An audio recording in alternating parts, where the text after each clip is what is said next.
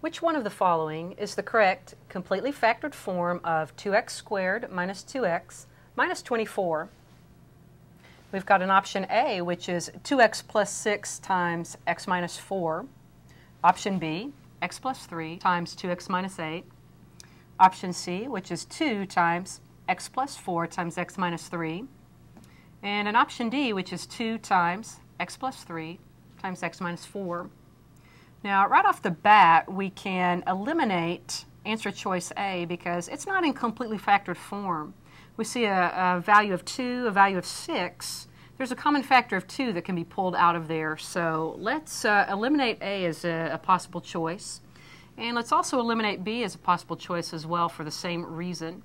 In this uh, binomial 2x minus 8, there's a common factor of 2 uh, that could be pulled out in the front. So that's not completely factored either. That takes us down to options C and D. And I'm going to have to go ahead and factor our trinomial to make a decision there. Let's start with our factorization by pulling out the greatest common factor, which is 2. So this becomes a 2 times x squared minus x and minus 12. Now let's continue to factor this trinomial.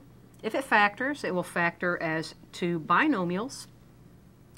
The leading terms must be x and x to give a product of x squared.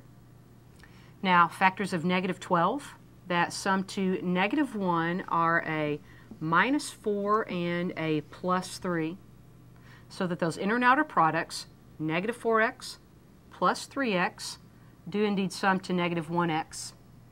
So it looks like our correct choice then is option D. It's okay if those factors are written in a different order. We know that multiplication is commutative. So our correct answer